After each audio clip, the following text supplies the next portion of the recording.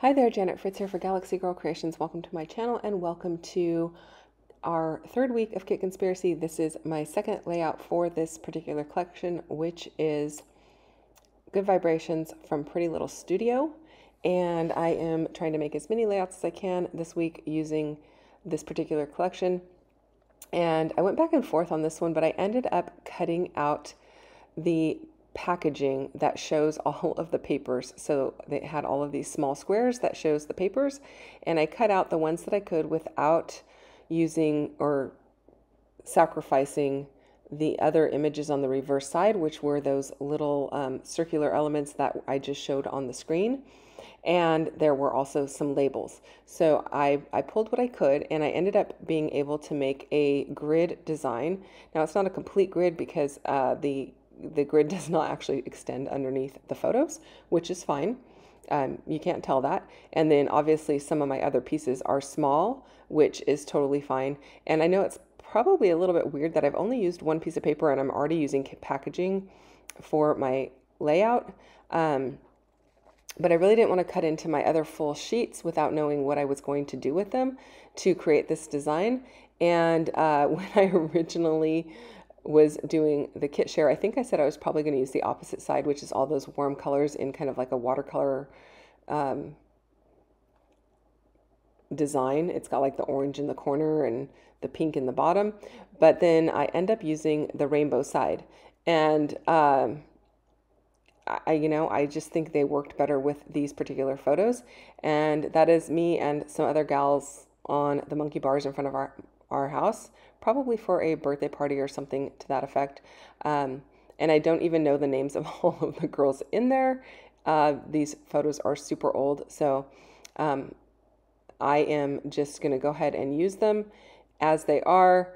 And uh, these are reprints because I ended up scan having my husband scan, which I mean I could have done that myself, but um, he's got the scanner set up on his computer already, and I haven't done that yet but uh, he's got it set up. So I was like, can you just scan these for me real quick?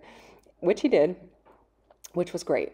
and so uh, I had these photos and I printed them a little larger than what they would have been because they started out as like those smaller.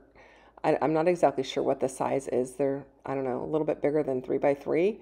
Um, and then I zoomed in, which actually removed several of the kids out of the photo and that's totally fine since I didn't know who some of them were anyway. Um, and then uh, printed them on my Selphy. And I'm, I like the way that it, they came out, and so I'm pretty happy with that.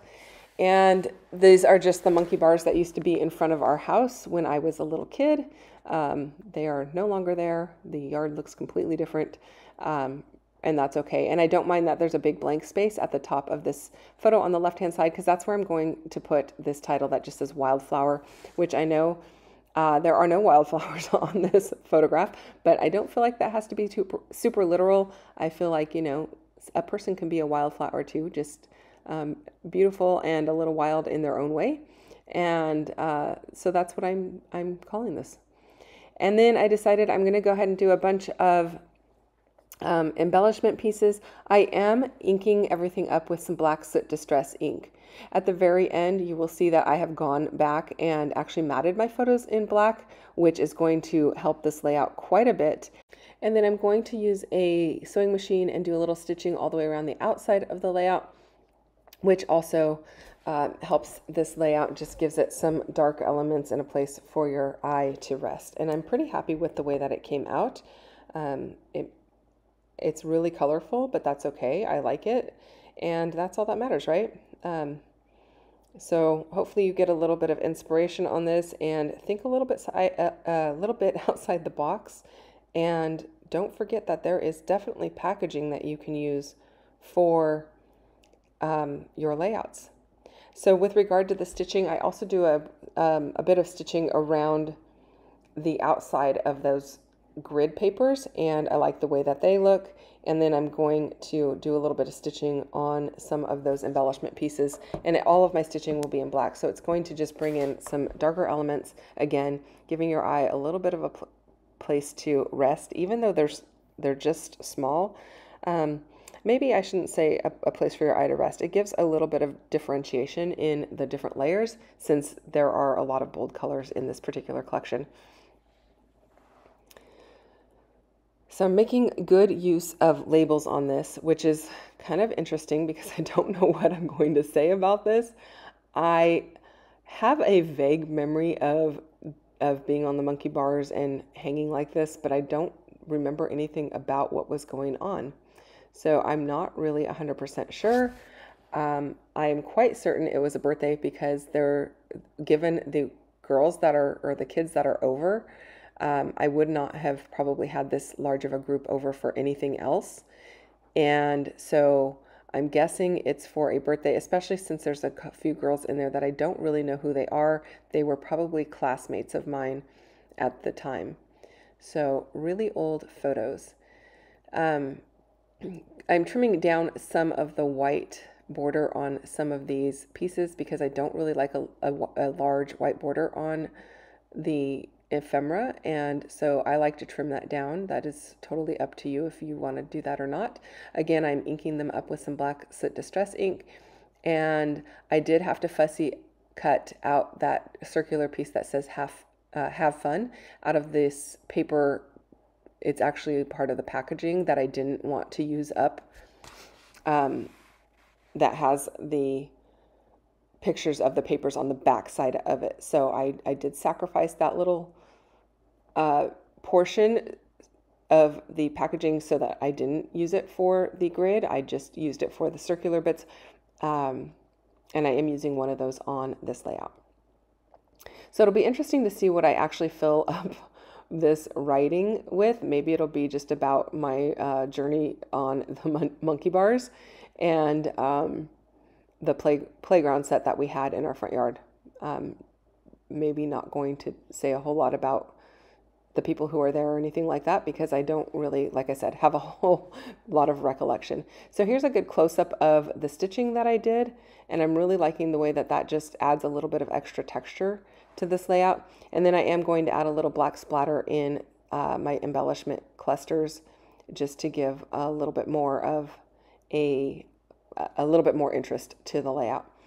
So I thought I would stop there and that was going to be the end of it, but the longer it sat on my desk with this ink drying, which is just some black marble Dylusions ink spray, um, th that's when I decided I needed something to make those photos pop because there's a lot of white in the sky and they were kind of just blending into the background with this paper having uh, primarily a white background and just having those like almost pinstripe lines on it to make the, the rainbows.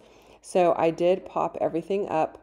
Um, luckily, these were put down, weren't put down with a bunch of liquid glue. And I did have to kind of make it fit in that bottom corner because the embellishments down there were, were adhered with some liquid glue. So I had to kind of account for that. But um, I just took the paper over to my trimmer and trimmed it down to the right size. And then I'll add a little bit of adhesive to the paper, uh, both sides of that black paper so that it sticks to the background and it sticks to the photograph. And that's when I'm going to call it done.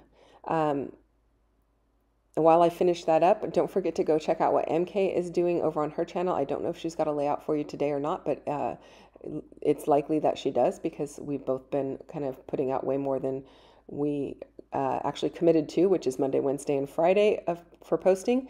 But um, we've been putting out more. So go and see what she's got over on her channel and hit the thumbs up button if you enjoyed this video. And don't forget to subscribe. If you're not already subscribed to my channel, I'd really, really appreciate it. Um, and I will get back to you if you leave any comments down below that you might have. It takes me a couple days, but I do respond to all of them and read all of them. And I do appreciate every time you guys leave a comment. I will see you guys again tomorrow with another video. Bye-bye.